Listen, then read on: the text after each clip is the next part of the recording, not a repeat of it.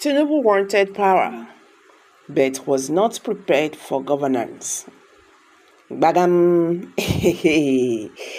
Hello, guys. Welcome back to Prospect Channel TV. Thank you for always coming out here. If you are just joining us, please kindly subscribe to this channel. Don't forget to give us a thumbs up. Obiora Ifoh, the National Publicity Secretary of the Labour Party, in this executive interview with uh, Inabong Iwak spoke on President Bola Tinubu's one year in office and the state of Labour Party.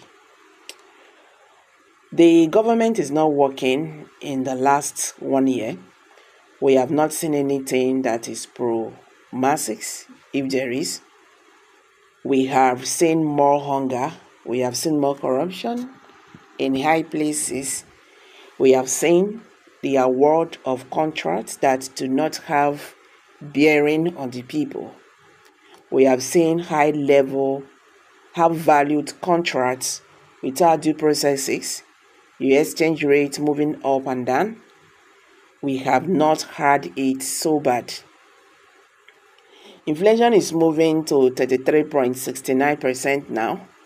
We have had it so bad we have seen tears, misery, and blood in the last one year. However, Nigerians know that there is hope on the horizon, and Nigerians have perseverance. But where did Tinubu get it wrong? Is it his policies? He was asked. It is not about policy now, it is about preparedness Tinubu was not prepared. He wanted power, but he he never knew the uh, enormity of the problem on ground. The statistics they gave him before he ventured into this was largely grossed over, so he thought it was easy. You remember the Emilokan slogan. Tinubu came on the promise that it is their own turn to rule, not as if he has anything to offer. So, if it is not about policy, if you have competent person to drive policy, you will get bad results, and that is what we are getting today. From the economy to education, banking, anything you can think of, he is a statute with politicians that cannot think. Look at the man handling our defense, the man that could not do anything in Zamfara state. They made him the defense minister. Up to today, insecurity has taken over Nigeria because you have people who are incompetent to do that. Inflation is grappling when the Labour Party was campaigning, we said Nigeria needs to move from consumption to production, but this government intensified consumption. There is nothing like production that is that is why we cannot buy food again in Nigeria. That is why Labour is asking that that amount for minimum wage because you just increase electricity prices like that like at food, and with all these, you are still paying 30,000 naira as minimum wage. And these people were spending huge amounts on food and living. How do you expect people to survive with this current minimum wage that the government is offering? There is total collapse in the system. You can see the poverty, and probably one day people will, will get into the streets most of his ministers are misfits. I don't know of any minister that is working and giving up more to that position. If you are to advise uh, giving forward what should Tinubu be doing, he was asked he should stop jacketing all over the world, claiming to be marketing Nigeria.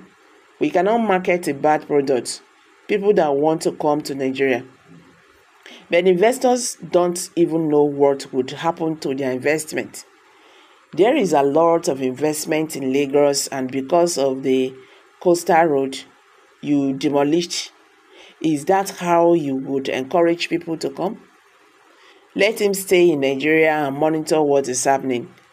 Every day things are worsening. The money he is using to travel across the globe can be can can found can fund agriculture. Okay. The government should stop borrowing. The past government overborrowed, and this man came to continue the same trend. But his money would be paid by unborn generations. Unfortunately, when this money is borrowed, it is looted. But we have the National Assembly. We are not seeing opposition lawmakers speak about anti people policies. Do you agree? That is not entirely true. The opposition lawmakers are speaking, but their voices are not heard because the APC lawmakers are the majority and the National Assembly is presided by the APC members. They decide who they want to give the floor to speak and who not to. Sometimes they benefit more being APC members in the chamber. I am not saying Labour members cannot do more they can do better, but in most of the committees, you find less than 10% of opposition members chairing. Most of the committees are chaired by APC lawmakers. You saw what happened to an open Senator Ali Ndume when he raised the alarm about budgetary spending. He was suspended because of his revelations. This is what opposition law- lawmakers suffer in the National Assembly. Okay, is a uh, Ningi. All right, it's not Ali Ndume, it was Ningi, Abdullahi Ningi. Peter Obi visited Atiku and other PDP chiefs. chieftains. Could you speak at the meetings? The meeting is coming together of people of like minds, leaders who have studied the trajectory of Nigeria in the last one year leaders who are listening to the cries of Nigerians, leaders who are taught that things are not going the way it should go. I mean, leaders who are of the opinion that if they continue to watch in silence, Nigeria could go into serious crisis. They think it is proper for them to talk on how to liberate Nigeria from the administration of the present government Every Nigeria, both the rich and the poor, is facing challenge by the current leadership in Nigeria today. The little we gathered from their meeting is that it has to do with politics and that today our presidential candidate visited other presidential aspirants, including Bukola Saraki and Sule Lamido. Atiku also visited Baba, uh, Babangida Aliyu of Niger uh, of Niger State, and I think this visit is ongoing and good for our policies. So, guys, um, what's your take on this? Uh, kindly drop your comments below the comment section. Obiora said President Bola Tinubu did not really understand you know, the system in Nigeria when he said he wants to become Nigerian's president because he's torn. Is he just wanted power but was not prepared for governance? Do you agree with him? Let's hear from you. Kindly drop your comments below the comment section. Thank you.